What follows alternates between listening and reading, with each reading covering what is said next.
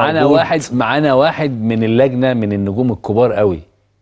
كابتن فاروق جعفر. رؤى مساء الفل يا رؤى. درش ازيك يا حبيبي؟ وأنت طيب. أنت طيب وحشني. وأنت طيب. وأنت طيب. صحة وسلامة انت بصحة وسلامة. حبيبي يا رؤى وحشني والله.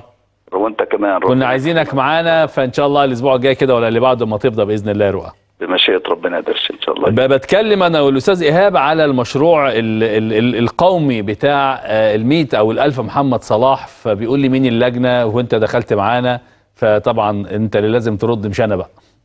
إزاي هننتقي ومين اللي هينتقي وهيعملوا إيه وهنعمل معاهم كده يعني.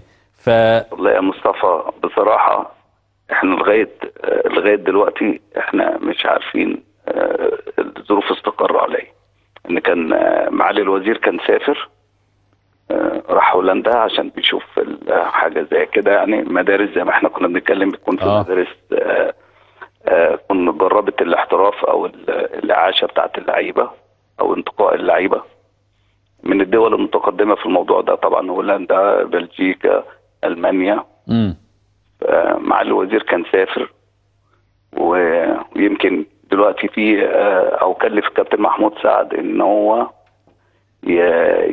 يعمل سمح هو وهو وال- والدكتور جمال محمد علي انهم يعملوا مسح شامل على مستوى الجمهورية. آه. عشان يشوف اللعيبة. طبعا المسح الشامل ده ملوش دعوة المسح الشامل ده بيبقى الأندية مش لمراكز الشباب. آه. الانتقاء ده حاجة تانية خالص غير الأندية وغير اتحاد الكورة وغير المسابقات الانتقاء انت لما تكون لعيب في نادي وانت بتكتشفه ده موضوع تاني. ده اللعيب ده بتاع النادي مش بتاع مصر. آه. يعني في مشروع إحنا بنعمله للبلد المشروع ده إحنا بنشوف الاولاد اللي في مراكز الشباب في كوادر ولاعيبه وعندها قدرات وكفاءات وإمكانيات عالية جدا موجودة في مراكز الشباب مش موجودة في الأندية. صح. أو ما خدوش حقهم أو ما حدش اكتشفهم. فإحنا شغلتنا أو شغلة البلد في الفترة اللي جاية هي تكتشف المواهب دي. امم لكن في من المواهب الموجودة في الأندية الأندية هتحافظ عليها. آه. فلازم إحنا نفرق بين إحنا اكتشاف مواهب آه، تطلع بشكل جديد بفكر جديد بأداء جديد بطموحات جديدة بدوافع جديدة. ولعيبة موجودة في الأندية. اللي موجودة في الأندية أنت ما تقدرش آه، أنت ملناش علاقة بيهم. خالص مم. خالص. وإحنا لازم هنا نفرق بين اللعيبة اللي هم ده إحنا بنكتشفهم في مراكز الشباب. يعني في لعيبة أحسن مننا ما كانش ليهم حظ إن حد صح يكتشفهم. صح فإحنا بنقوم بالدور ده إن إحنا إزاي نكتشف اللعيبة إزاي نشوف اللعيبة إزاي إحنا في الفترة اللي جاية نروح على الأعمار السنية ونبتدي نشوف اللعيبة. يعني نشوف اللعيبة برضك بالعلم وبالثقافة. لكن أنا من وجهة نظري يمكن كنت أنا وأنت ومجموعة من زمايلنا كنا قاعدين بنتكلم إن المدرسة المصرية لوحدها ما ما عملتش التجربة دي. إن صح. كل التجارب كانت فردية اللعيبة سافرت وعملت الاعاشه بره فردية. لكن كقوام لمدرسة تبتدي تبقى عندها الإبداع والإبهار واللي عندها لعيبه تقدر تقدمهم بشكل كويس وتعود اللعيبة. ان أنت عندك مراحل كتير يا مصطفى. بالظبط. إحنا من 9 ل 18 يا فاروق مش كده؟ بالظبط. إحنا من تسع سنين 11 11 13 13 15 15 17 امم دولت المراحل اللي عندنا.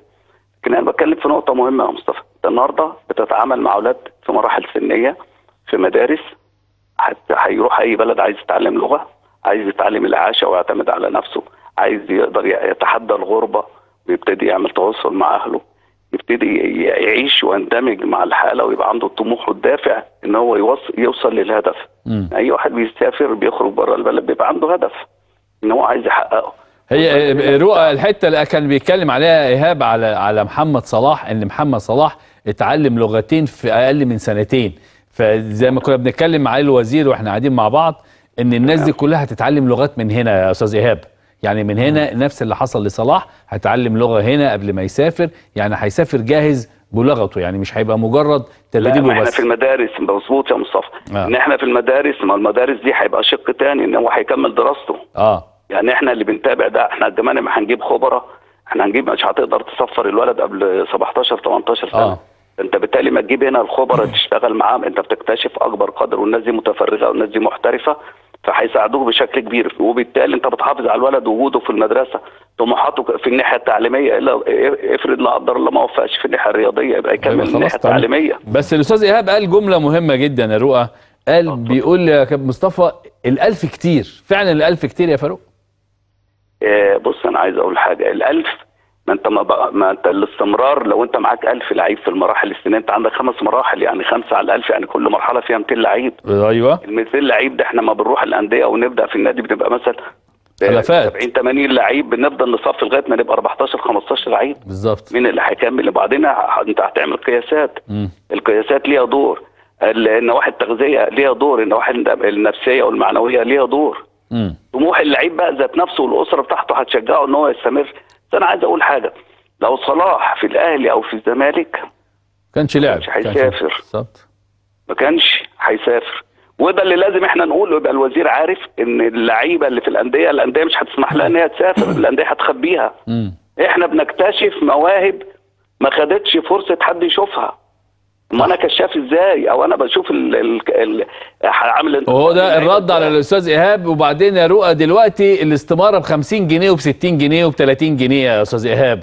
يعني لو كانت على أيامنا بجنيه ولا ب 5 جنيه ما كناش جينا لا رحنا النادي الأهلي ولا فاروق. جعفر راح نادي الزمالك. فإحنا لنا دورنا يا مصطفى كان بيعملوا لنا الأبونية عشان نرجع نروح بيوتنا. لا كان بي... أنا أنا كان. أنا كان بيديني 5 جنيه في الشهر. وإحنا كده والله. الله يرحمه كابتن حلمي. الله يرحمهم جميعا يا رؤى الناس الناس اللي ربيتنا. آه طبعا طبعا. وحشنا يا ملك النص 5 جنيه. ربنا يخليك يا أبو وحشنا دلوقتي يعني حبيبك عيد ميلاده النهارده. كابتن مصطفى على فكرة عيد ميلاده النهارده. طب والله؟ آه، يا 25 درش، 12 آه. يا دوبك آه، 26 سنة أهو. ست لا 36 بلاش. الجدي بقى، 36. الجدي بقى، آه جدي أيوه بالظبط. الصحة. حبيبي يا رؤى. حبيبي يا رؤى عشرة عمر طبعا. يعني. شكرا يا رؤى حبيبي ميرسي حبيبي. بالتوفيق إن شاء الله بإذن الله. ربنا يخليك آه